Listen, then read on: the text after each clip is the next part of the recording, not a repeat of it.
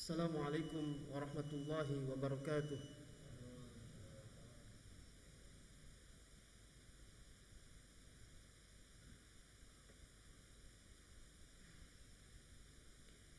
الحمد لله رب العالمين والصلاة والسلام على أشرف الأنبياء والمرسلين وعلى آله وصحبه أجمعين. أشهد أن لا إله إلا الله وحده لا شريك له وأشهد أن محمدا عبده ورسوله لا نبي بعده. اللهم صل وسلم وبارك على عبدك ونبيك ورسولك محمد وعلى آله وصحبه أجمعين. أما بعد فيا عباد الله أوصيكم ونفسي بتقوى الله. فقد فاز المتقون. فقد قال الله تعالى في كتابه الكريم أعوذ بالله من الشيطان الرجيم. بسم الله الرحمن الرحيم يا أيها الذين آمنوا اتقوا الله حق تقاته ولا تموتن إلا وأنتم مسلمون Hadirin rahimakumullah Marilah kita panjatkan puji dan syukur kehadirat Allah Subhanahu wa taala. Alhamdulillah berkat nikmat yang diberikan kepada kita terutama nikmat iman dan nikmat Islam kita dapat memenuhi salah satu panggilannya yaitu melaksanakan sholat Jumat ini mudah-mudahan sholat Jumat yang kita lakukan ada dalam penerimaan Allah Subhanahu wa taala Salawat beserta salam Marilah kita curah limpahkan kehadirat baginda Nabi Muhammad sallallahu alaihi wasallam.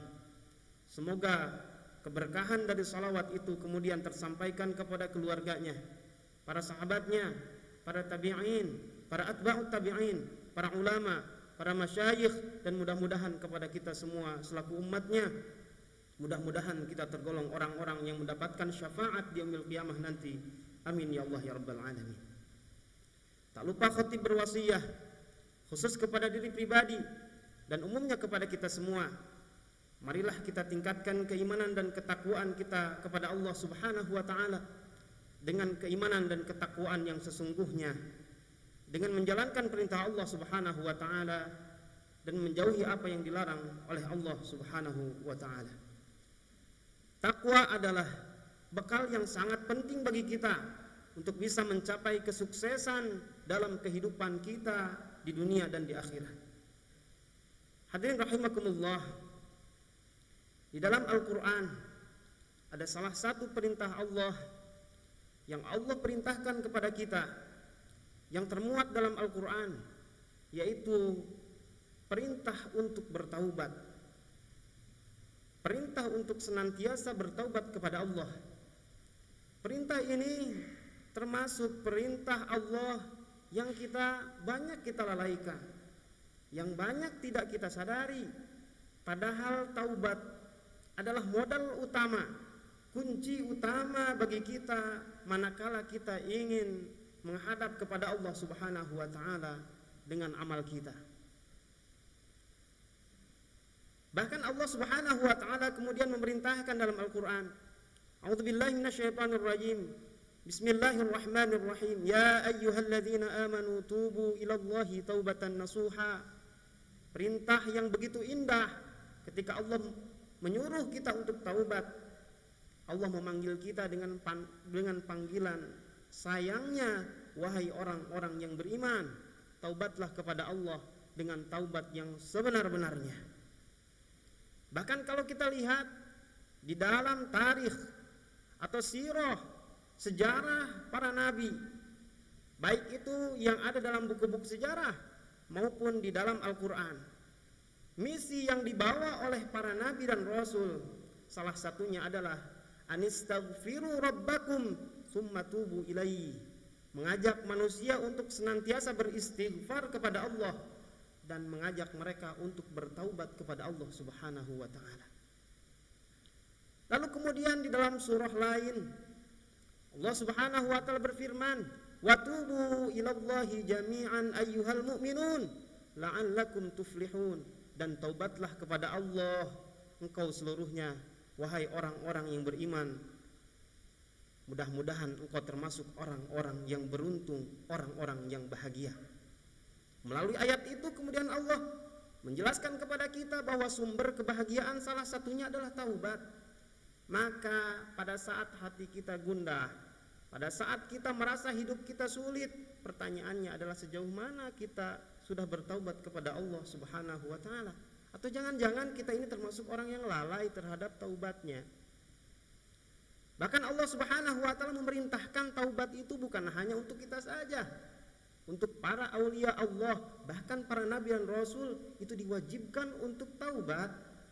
Wa man lam yatub faulaika humudz zalimun. Siapa yang tidak bertaubat kepada Allah, maka mereka adalah orang-orang yang zalim. Mustahil kita mengatakan nabi adalah orang zalim. Bahkan kalau kita lihat di dalam hadis riwayat Bukhari, ada satu salah satu riwayat yang mengatakan bahwa Nabi bersabda, "Wallahi inni la astaghfirullah wa atubu ilaihi fil yaum aktsara min sab'ina marrah." Demi Allah, Sesungguhnya aku beristighfar kepada Allah dan bertaubat kepadanya dalam sehari itu lebih dari 70 kali. Lebih dari 70 kali dalam sehari Nabi bertaubat kepada Allah Subhanahu wa taala. Maka kemudian pertanyaannya adalah sudahkah kita bertaubat kepada Allah? Pertanyaan berikutnya adalah seperti apa yang disebut dengan taubat kepada Allah? Pertanyaan berikutnya adalah apakah taubatnya Nabi kepada Allah itu sama dengan taubatnya kita kepada Allah? Dan ketika memang taubat Nabi dan kita itu beda, artinya taubat itu punya level masing-masing, maka sejauh mana level taubat kita ini? Apakah kita ini layak disebut sebagai hamba-hamba yang bertaubat sehingga dicintai oleh Allah Innallaha yuhibbut tawwabina wa yuhibbul mutatahhirin. Sesungguhnya Allah Subhanahu wa taala amat mencintai hamba-hambanya yang bertaubat dan menyukai orang-orang yang mau membersihkan dirinya. Hadirin rahimakumullah, kalau kita lihat di dalam kamus maupun di dalam tafsir Al-Qur'an, taubat itu artinya adalah ar-ruju', kembali Taubat artinya adalah kembali.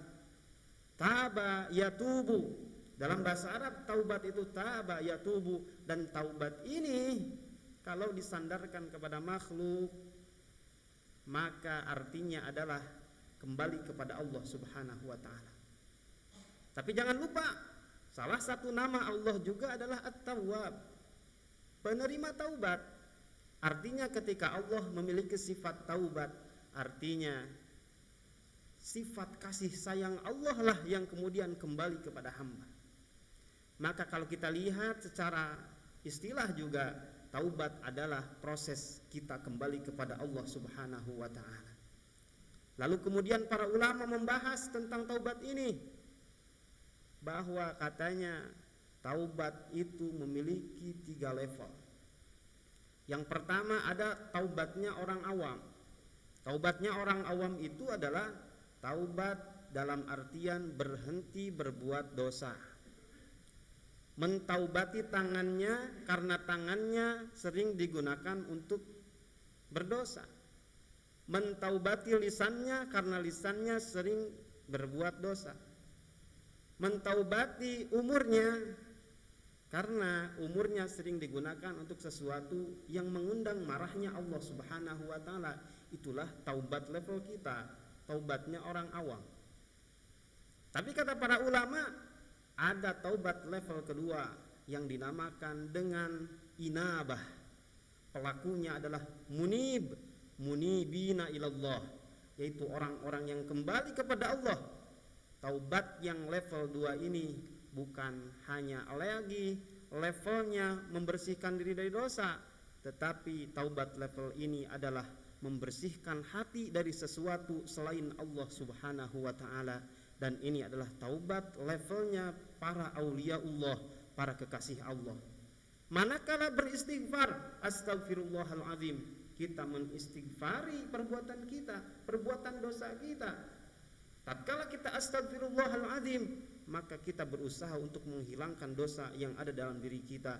Tapi ketika para aulia melakukan istighfar astagfirullahalazim bukan lagi untuk menghilangkan dosa karena itu sudah sudah pasti hilang dengan ibadah dan istighfar-istighfar lainnya tetapi istighfar yang dilakukan itu adalah untuk menghilangkan sesuatu selain Allah dalam hatinya. Dan ada level ketiga istighfar level aubah awab ini istighfar ini atau taubat ini adalah taubat levelnya para anbiya Allah para nabi yaitu taubat yang dimaknai sebagai proses kembali kepada Allah dengan proses yang sempurna tanpa ada dosa dan kemudian tiada satupun e, selain Allah di hatinya. Maka jelaslah sudah bagi kita bahwa taubat kita dengan taubatnya Nabi itu pasti beda. Taubatnya Nabi bukannya lagi kemudian menghilangkan dosa dalam dirinya tetapi taubatnya Nabi adalah proses kembali kepada Allah Subhanahu wa taala dengan proses kembali yang sempurna tanpa ada kecacatan dalam dirinya dan hatinya. Barakallahu li walakum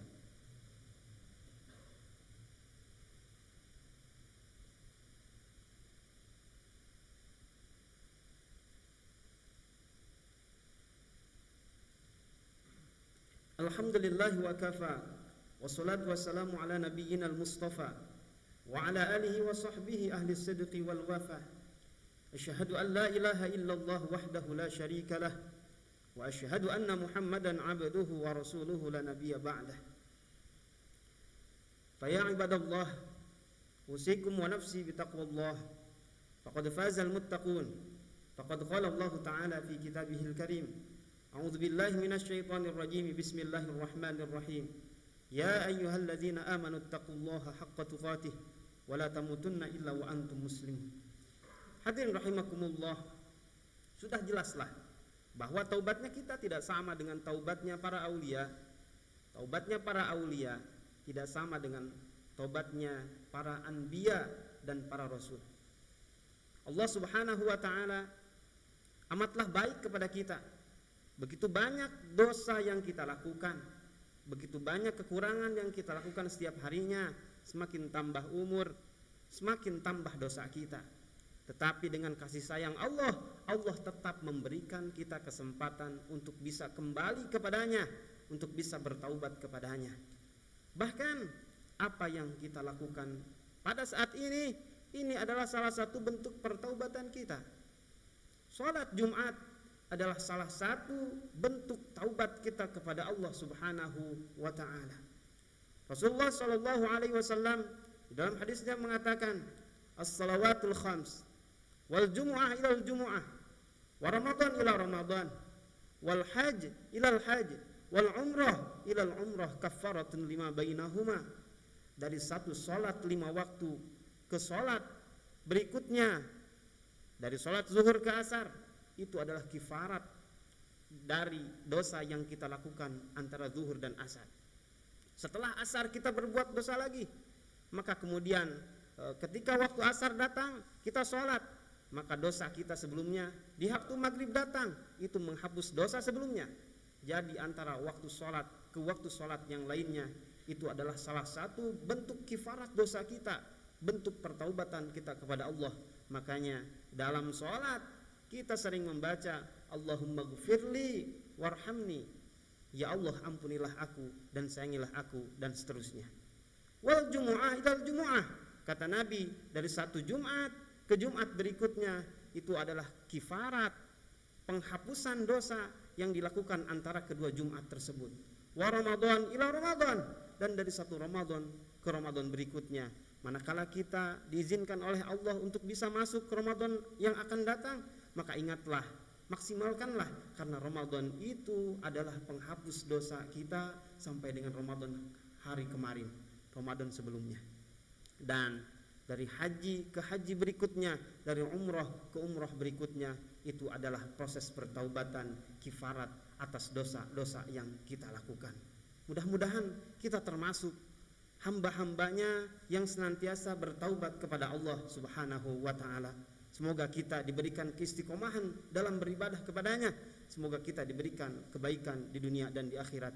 Mari kita berdoa kepada Allah Subhanahu wa taala. Allahumma salli ala sayidina Muhammad وعلى آل سيدنا محمد وسلم رضي الله تعالى عن كل صحابة رسول الله أجمعين. آمين.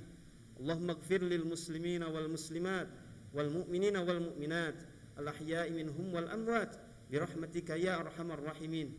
ربنا لا تزغ قلوبنا بعد إذ هديتنا وهب لنا من لدنك رحمة إنك أنت الوهاب. ربنا آتنا في الدنيا حسنة وفي الآخرة حسنة وقنا عذاب النار. سبحان ربك رب العزة عما يصفون وسلام على المرسلين والحمد لله رب العالمين. عباد الله إن الله يأمر بالعدل والإحسان وإيتاء ذي القربى وينهى عن الفحشاء والمنكر والبغي يعظكم لعلكم تذكرون. أستغفر الله لي ولكم. أقم الصلاة. الله أكبر الله أكبر أشهد أن